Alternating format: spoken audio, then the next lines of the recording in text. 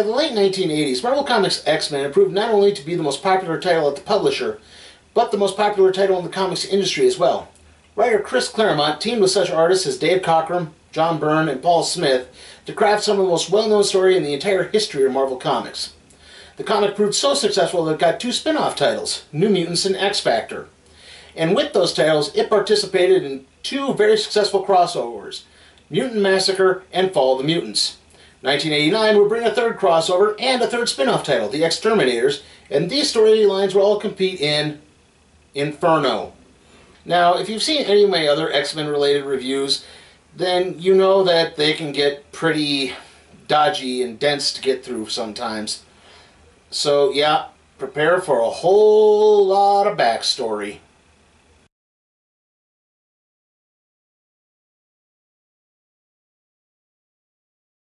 At this point, the X-Men had faked their deaths during the Fall of the Mutant storyline and were seeking refuge in Australia, which I guess doesn't count as part of the Marvel Universe. Sorry, Aussies.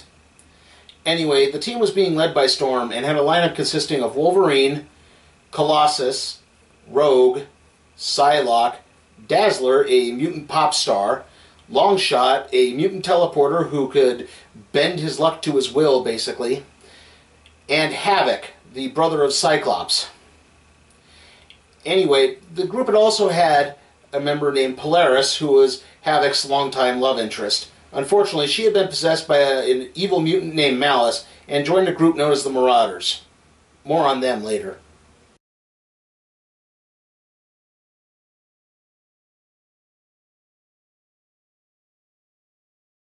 X Factor was a group formed by the founding members of the X Men. It consisted of Cyclops, Beast, Angel, Iceman, and Jean Grey. More on her later. Anyway, the group's guise to the public was that they were mutant hunters who were rounding up mutants and turning them into the federal government. In reality, what they were doing is taking in wayward mutants and training them so that they could better function in society without being detected. Now, during the Mutant Massacre storyline, team member Angel had his wings harpooned to a wall by a mutant whose name escapes me at the moment, and this resulted in his wings being amputated. This drove Angel into a depression in which he attempted to commit suicide. However, at the last second, he was absconded by the mutant villain Apocalypse and turned into one of his four horsemen, Death.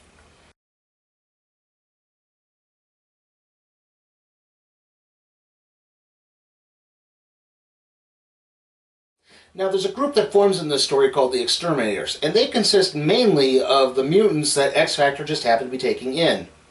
They consist of Skids, a woman who can create force fields, Rusty Collins, a pyrokinetic who can control fire, Boom Boom, a girl who can create small explosive energy pellets, Rictor, who can cause earthquakes, Artie, a small pink mute who can communicate via virtual holograms that he speaks, for lack of a better term, and Leech, who can nullify mutant abilities. There's also another member, but uh, we'll touch on him when we get to the story.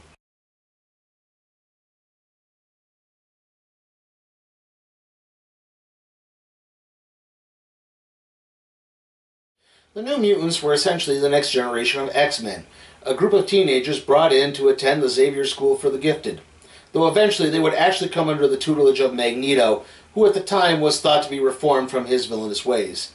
At this point, the team consisted of Cannonball, who could propel himself through the air at high speeds, Mirage, who could cast illusions, Magma, who had control over lava, Sunspot, a living solar battery, Wolfsbane, who could transform into a wolf-like creature, and Magik, who was the sister of Colossus and had the ability to teleport through the demonic dimension of Limbo via a series of special discs.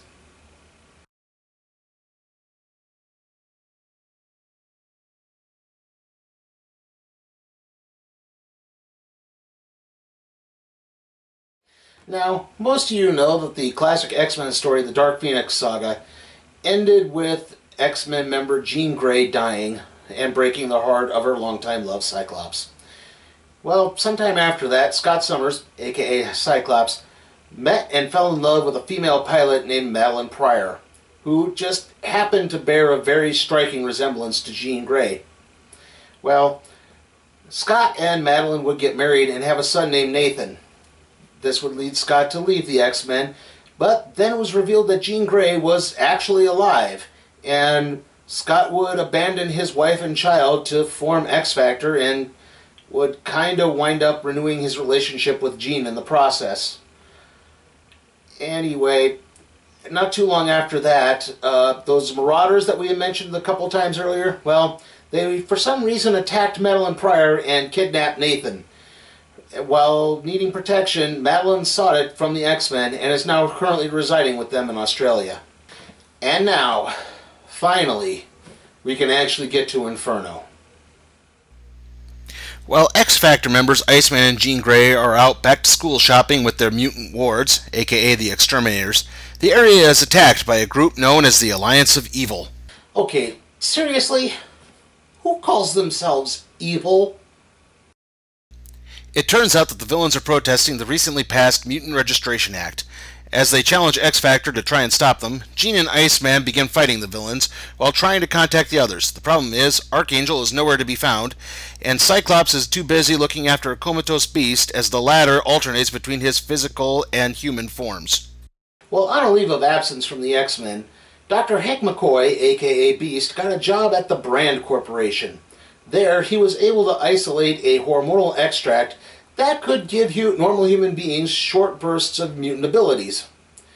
Fearing that it was going to be stolen by a group of corporate spies, McCoy wound up ingesting the formula, and this resulted in him gaining his now furry appearance. Sometime after joining X Factor, McCoy was actually given a formula that would allow him to alternate between his human and furry appearances. Although later this would wear off, and he would eventually mutate further into more of a leonine look. Meanwhile, the X-Terminators interject themselves into the battle. This comes as a risk to member Rusty Collins, as he is technically AWOL from the Navy. Then some more help arrives from an unwanted source the Freedom Force. The Freedom Force originally started as an incarnation of the classic villain team, the Brotherhood of Evil Mutants. Again, though, who, who calls themselves evil? Anyway, these were mutants who eventually got government support after they willingly gave up their identities and began supporting the Mutant Registration Act. It's then that Beast wakes from his coma, although it does appear that he is once again stuck in his furry form, and he and Cyclops decide to join the battle. The group then makes quick work of the Alliance of Evil. Afterwards, Freedom Force member Mystique approaches Rusty Collins and points out that signing with the MRA and joining Freedom Force would probably result in a pardon for being AWOL from the Navy. However, Rusty instead chooses to turn himself in. He bids goodbye to his friends, including his girlfriend Skids, and enters the prison. The rest of the X-Terminators are split into two as they are shipped to separate boarding schools, with Skids, Boom Boom, and Rictor going to the prestigious Phillips Academy in Exeter, New Hampshire, while Artie and Leech go to St. Simon's. At St. Simon's, Artie and Leech meet up with a wheelchair-bound orphan boy named Takeshi. Takeshi is a scientific genius with a technologically advanced wheelchair that Leech breaks. As a result, Takeshi instead just tries bonding with Artie more than Leech, pointing out that Leech makes him feel funny. Later, while working on an invention, Takeshi is zapped by a massive bolt of energy from the device. It is then that Artie and Leech realize that Takeshi is really a mutant. Later, while the boys are sleeping, Takeshi wakes to find a group of monsters sneaking into Artie and Leech's window. Takeshi gets into his wheelchair and races to save his new frenemies. Upon arrival, though, Takeshi's wheelchair suddenly morphs one of its arms into a blaster. It's of little use, as the monsters make off with Artie and Leech. Takeshi then tries to contact the older X-Terminators, but he's unable to reach them by phone. So he morphs his wheelchair and a nearby garbage can into a small chopper and flies off to the academy. Upon arrival, he informs Skids of what happened to Artie and Leech. Skids, Boom Boom, and Rictor get on Takeshi's chopper and leave. The group then heads over to the naval stockades and breaks Randy out of jail. Elsewhere, Archangel is attacking the headquarters of mutant-hating religious organization The Right in an attempt to locate his girlfriend, Candy Southern. It turns out the group's leader, Cameron Hodge, has made a deal with a demonic entity named N'astirh in order to provide demonic forces to fend off the mutant attack, while he, Hodge, sacrifices Candy. It's then that N'astirh appears angry at Hodge because, as Hodge is part of the bargain, he was to provide locations of mutant infants. But the locations have not yielded any. So N'astirh recalls his forces. Archangel then arrives to find he's too late. Candy Southern is dead. In retaliation, he kills Hodge. Back with N'astirh, his minions arrive with Artie and Leech. Again, the demon voices his displeasure. He needs infants. The demon explains that what has been brought to him couldn't possibly defeat the techno-organic being known as Sim, allowing N'astirh to take over the dimension of Limbo. As this happens, Artie is able to relay a telepathic message to the other X-Terminators. The group recognizes the location as being in New York City and begins heading over there, stopping off to pick up some clothing first. Unfortunately, they've been spotted by N'astirh's forces. The group lands in a New York City alleyway and begins noticing some strange occurrences. The temperature is rising rapidly and garbage is piling up out of nowhere. Randy tries several times to call X Factor. Each time he fails. Every failure, his anger begins to rise. He slams his phone down, and then Takeshi notices the phone smirking back. He tries to tell the others, but they don't believe him. Takeshi storms off, which makes it easy for N'astirh's forces to get the drop on him. By the time the others realize what's happened, Takeshi's gone. Takeshi is brought before N'astirh. The demon is told about Takeshi's ability, including his computer skills. Meanwhile, in Australia, the X-Men relax. Dazzler and Longshot entertain the toughs at a small bar, while Havok is out for a jog, still feeling the pain of losing Polaris. It's then that Madelyne approaches him, and the two begin flirting. Back with Storm, she's at X-Men headquarters watching some of X-Factor's exploits on the local news. It's then that she recognizes Jean Grey. Yeah, at this point, the X-Men still believe Jean Grey to be dead. Although the X-Men themselves were also actually believed to be dead, so, um, Make of that what you will. Storm rushes to Wolverine and tells him that Jean's alive. He already knows. He explains that he recognized Jean's scent when the X-Men first encountered the Marauders, but he didn't want to get everyone's hopes up. Back with Havok, he's sunbathing when Madelyne approaches him once more. Alex tries to deny that he's developing feelings for Madelyne, especially since she is still technically his sister-in-law. Madelyne points out that both have been left by their lovers, and she was just trying to share some mutual sentiment. She starts slinking away, but then Alex pursues her, and the two end up making love. Afterwards, Madelyne gets up and leaves the sleeping Alex. She makes her way to the X-Men's computer room and gets in contact with N'astirh. Madelyne reminds the demon of their bargain. She wants her son.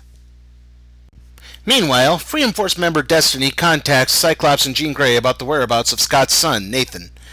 The information leads the two to the orphanage where Scott grew up. Cyclops recounts his history as the two search the ground. It's then that they realize all of the children at the orphanage are actually mutants. Scott and Jean make their way to the basement, while two others make their way to the orphanage. The two are named Nanny and Orphan Maker, and they begin hypnotizing and kidnapping the orphans. In the basement, Scott and Jean find dozens of suspended animation tubes, each holding a mutant baby. Jean is able to telepathically locate Scott's son, which is weird because she can only sense him, none of the others. The two begin freeing Nathan when N'astirh's forces also arrive. It's then that Nanny and Orphan Maker make their way into the basement. Scott and Jean believe them to be behind Nathan's abduction. As a fight breaks out, Jean recognizes two of the children Nanny has with her. They are Jean's niece and nephew. Meanwhile, N'astirh's forces make their way into the cryo babies they take several, including Nathan. Back in New York City, Beast and Iceman rescue a kid from an attacking hot dog stand. After that, the two, along with the Beast's girlfriend Trish and her cameraman, get swallowed by a subway train. Meanwhile, Archangel gets a visit from N'astirh. The demon makes an offer, but Warren refuses. Scott and Jean return to New York City. Jean can sense Nathan's fears and uses them to track the infant. Unfortunately, the emotions are beginning to overwhelm her. Back on the evil subway, Beast and Iceman get the train to hop the tracks and launch it to the surface. Then they get it entangled in the suspension wires of the Brooklyn Bridge. This is where Trish manages to ground it with an electrical wire. Back with Cyclops and Jean Grey, their plane is attacked by N'astirh's forces, which causes them to land. As they emerge, they notice all of New York City's infrastructure has been possessed and is attacking people. Beast, Iceman, and Archangel arrive, and with that, X Factor manages to fight off the rest of the demons and return to searching for Nathan. Now, you may notice that I am referring to Scott and Madelyne's baby as Nathan Summers instead of Christopher Summers, which is his middle name, and what Scott and Jean and most of the other characters refer to him as throughout this comic. Well, most comic book fans would know this character as Nathan Summers who is the time traveling techno organic telepath Cable. So that's why I'm going with it. Back with the X Men, Madelyne and Havok are out on the town. Their date, however, gets interrupted by the Ghostbusters, who then get eaten by an elevator. Before Alex can truly take notice, Madelyne teleports the two back to Australia. She then asks for a moment alone and teleports off before Alex can speak. It turns out that Madelyne has returned to New York, where she visits Jean Grey's grave. She angrily flashes back to her past with Scott and smashes Jean's headstone. Her actions have been witnessed by Jean's parents, but before they can approach her, N'astirh attacks and turns them into demons. N'astirh then shows Madelyne Nathan's capsule. Back in Australia, Havok is able to track down the location of the Marauders. He informs Storm and Wolverine, who give the orders to pack up for New York. Meanwhile, Madelyne begins inspecting some of the capsules taken from the orphanage. The sight triggers something, and suddenly Madelyne sees herself in one of them. She then notices the capsule actually has her name on it. Back with the X Men, they locate the Marauders and a battle ensues. However, things begin to shift as the walls begin attacking both groups. Back with Madelyne, she demands answers from N'astirh. The demon suggests talking to the one truly responsible for this, as he has arrived. The man introduces himself as Madelyne's father, though most refer to him as Mr. Sinister. Nathaniel Essex was a Victorian era scientist who was heavily influenced by the work of Charles Darwin. Through his research, he would come across a people that he would dub Essex factors, in other words, early mutants. He would often imprison these people and torture them through various experiments, trying to see the limits of their power and what he was able to do with them. Eventually, he would come across the mutant apocalypse, who would grant Essex immortality, transforming him into Mr. Sinister, thus allowing him to continue his twisted experiments on the mutant race. The X-Terminators try attempting to locate Artie Leech and Takeshi by using the local library to track down the demon's location. The library winds up attacking them. The group flees, but they do manage to make off with a map of the most likely location. Back with N'astirh, he is set to Takeshi to building a supercomputer capable of opening a larger portal to the limbo dimension. With that, the demon will be able to take down his rival, Sim. Takeshi completes the computer just as the other X-Terminators arrive. The group tries to rescue the abductees while fighting off the demons. Unfortunately, they get a little too close to Leech, who accidentally nullifies their powers.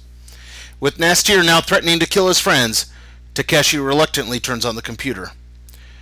N'astirh's forces then take the abducted babies up to the sky and arrange them in a pentagram.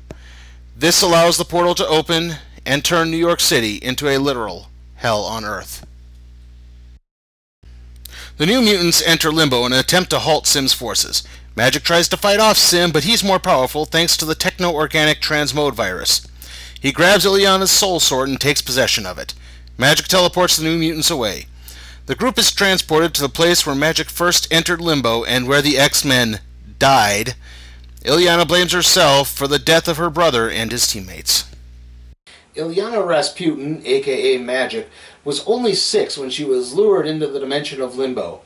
There, she was trapped for 10 years, even though in Earth time she was only gone for a few minutes. Because of that, she went from the age of 6 to 16, and this allowed her to tap into her mutant abilities and as a result, her mental condition is, well, it's not exactly stable. Sim forces attack the group once again and Magik teleports them out. This time the group runs into N'astirh, who offers help. If Magik marries him. Dude! She's 16! I mean, I know you're a demon and you're evil and all, but God, do you think even you guys would have some scruples? The New Mutants try to talk her out of it, but Magik reluctantly accepts N'astirh's proposal. The team teleports back to Sim, where Magik manages to take him down and reclaim her sword. As she does this, she taps into her full demonic power and transforms. With that, the group heads back to New York City. The New Mutants arrive in the demon-infested New York City as N'astirh prepares to sacrifice the X-Terminators. However, Takeshi threatens to destroy the supercomputer. N'astirh is able to stop him and then leaves to go deal with Magik. Takeshi comes to and distracts one of Nastier's minions while Artie and Leech crawl under the computer and begin disconnecting its cables. The portal shuts and the X-Terminators are free. However, the demons are able to reconnect the computer. This enables Sim to eventually come through the portal and begin fighting N'astirh. The X-Terminators come up with another plan as Takeshi whips up Voltron Mach 27 so the group can fly up and save the infants who are being held in the sky. The group gets attacked, they begin grabbing babies, and Takeshi is once again taken captive. However, the New Mutants show up to lend a hand. Takeshi has taken an N'astirh, who mind controls the boy into operating the computer once again, this time to use it on Sim. However, Takeshi manages one last bit of control and takes out N'astirh as well. The demon has one last trick up his sleeve and begins merging with the computer. The combined efforts of the New Mutants and the X-Terminators manage to save the babies and begin preparing to save Magik from the hands of her demonic groom. Back with Madelyne and Sinister, she demands answers. Sinister states that he made her. Madelyne points out that he was also behind the Marauders. They fight, with Sinister gaining the upper hand when Madelyne is abandoned by N'astirh. Meanwhile, in New York City, the fight between the X-Men and the Marauders continues. For some reason, this is when Nastier's forces decide to interject themselves in the conflict. This allows the Marauders to gain the upper hand. Back with Madelyne and Sinister, he asks Madelyne to recall a memory from her childhood. She does, bringing up the tragic death of her best friend, Anne Richardson. Anne was struck by a car, and while she died, Madelyne could hear her thoughts. The problem is the memory really belongs to Jean Grey, not Madelyne. Madelyne is in actuality a clone. Back with the X-Men, they begin attacking the parts of the demonically possessed city. Colossus stops and takes notice that his teammates are acting way more aggressive than usual. He then recognizes a few of the demons from Limbo, and with that, Colossus rushes off to find his sister. Back with Madelyne and Sinister, N'astirh returns to give Madelyne a boost of power. She breaks free from her bonds and proclaims herself the Goblin Queen. She then joins N'astirh and Nathan and leaves. The X Factor crew continues their search for Nathan, that is until they run into N'astirh and Madelyne. Cyclops calls off any attack out of fear for Madelyne and Nathan's safety. Madelyne points out that Scott is responsible for all this and sics her demonic forces on X Factor. Jean tries to read Madelyne's mind only to keep hitting a psychic barrier. Madelyne continues ranting and attacks Cyclops. Even N'astirh tries to halt her, only to get shot down. X-Factor begins fighting off demons while Jean tries once more to contact Madelyne. That is until Madelyne sicks the demons who were once Jean's parents on her. Madelyne swears to destroy Jean and then use Nathan as a human sacrifice. Then the X-Men arrive on the scene. Unfortunately, just when things seem to start kicking into gear, we now have to grind this to a halt and go conclude the New Mutants storyline. Magik attacks Sim as a combination of the New Mutants and X-Terminators begin looking for her. Meanwhile, Colossus is doing the same, and he winds up getting jumped by a group of demons and then brought to Sim and Magik. Magik confirms that the body is Pieter's, and she unleashes a blast at Sim. The light from this attracts the attention of the others. Colossus comes to as the New Mutants try to fly Magik away. The big guy attacks Sim, who then shows Pieter what happened to Illyana. Out of shame, she teleports herself and the New Mutants back to Limbo. Except this Limbo is different. This is a Limbo in an earlier time, back when Illyana was still a little girl. Wolfsbane grabs a hold of the young Illyana, and while her older self tries to kill her, Wolfsbane argues that they could make it so Illyana was never in Limbo to begin with. With that, Magik unleashes all of her power in an attempt to rewrite the timeline. Sadly, in the process, Wolfsbane loses her grip on the young Illyana. the New Mutants find themselves back in New York City where Sim's forces have been destroyed. Sadly, they must break the news to Colossus that his sister is gone. All that is left of her is her armor. Pietro then notices something crawling around inside the armor. He cracks it open to find Illyana, restored to her younger self. This basically marks the end for the X-Terminators. They would eventually be folded into the New Mutants not too long after this. And while Sim's forces are gone, N'astirh and his forces still remain. That's right. We still have five more parts of this storyline to go. Wolverine makes out with Jean. He's checking to see if it's really her. She blasts him. Figures. While X Factor tries to figure out if the X Men are actually real, Madelyne takes a more normal looking form and calls for Havok and the others to save her. The two teams break out in a fight, with the X Men calling X Factor mutant hunters and X Factor after the X Men for trying to protect Madelyne. Or because Logan really wanted to have sex with Jean. I don't know, I, I just can't tell anymore. So they fight and fight and fight and fight and fight and fight and fight and fight and fight and fight and fight and fight and fight and fight and fight and fight. Finally, Madelyne leaves with N'astirh. Havok gives pursuit while Cyclops tries to talk his brother down. Havok eventually catches up to Madelyne and N'astirh. It's then that he realizes that X Factor was right. But he doesn't care anymore. He swears loyalty to the Goblin Queen. Yeah, the Summers brothers rarely see eye to eye on things, not counting the recent X Axis storyline.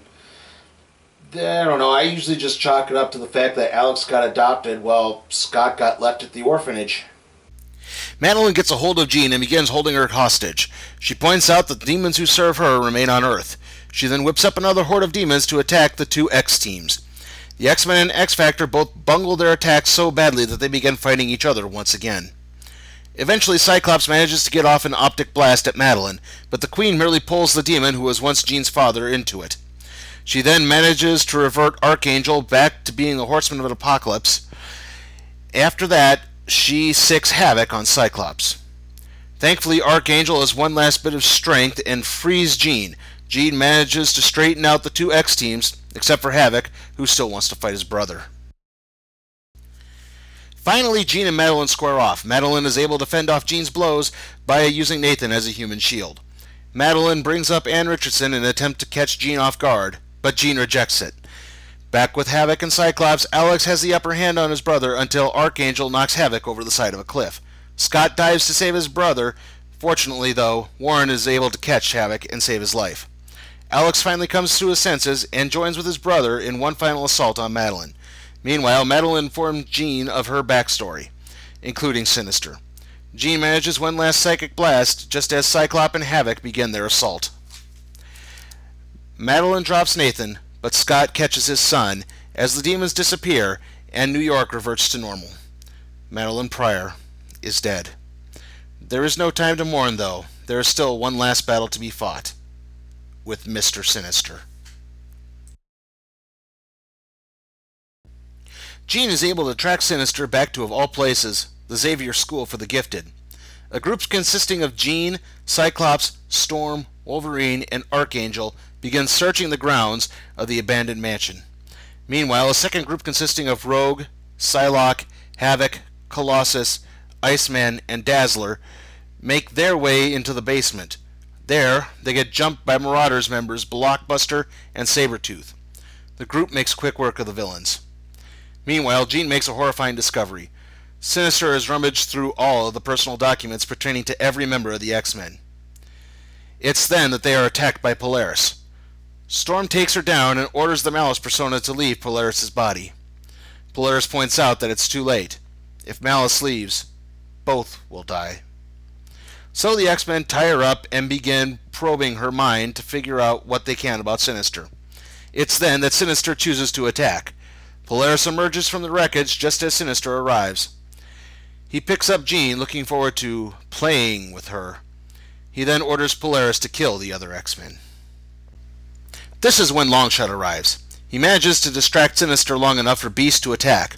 This enables the other X-Men to come to, and Cyclops confronts Sinister. Sinister prevents Cyclops from firing an, off, an optic blast and begins mocking Scott.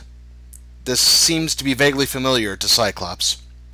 It's then that Rogue attacks and tries to use her absorption powers on Sinister. All this leads to, though, is the villain now occupying her mind. It's then that Scott recognizes Sinister's voice. It turns out that Mr. Sinister was the doctor who first examined Scott at the orphanage. Not too long after that, the boy's powers had activated. He then spent the next year experimenting on Scott and arranging for Alex to be adopted. Sinister then explains how he created Madelyne and that he was about to move in on her and Scott when Jean suddenly reappeared. So now, he wants to work on the real thing.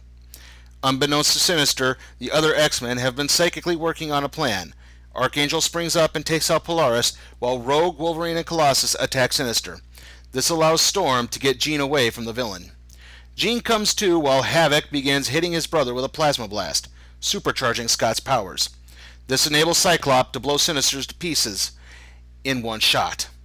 In the aftermath, it's revealed that Polaris escaped during the melee, and the Summers brothers finally make amends.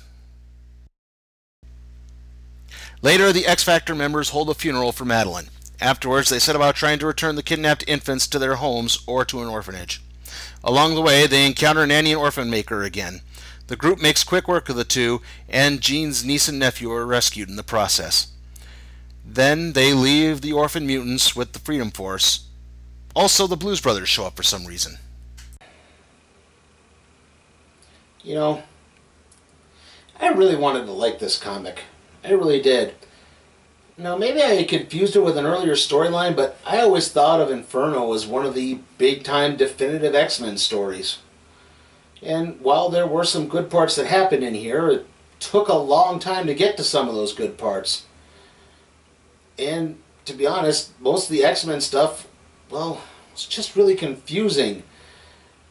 Uh, to me, the best part of the comic was the stuff with the X-Terminators. It flowed nicely, there was good banter, everything seemed to build in nicely. But other parts just, they seemed so forced. I mean, like I said earlier, the X-Men story suddenly grinds to a halt so that we can finish the New Mutants story. Um, not to mention, there are some major art inconsistencies here.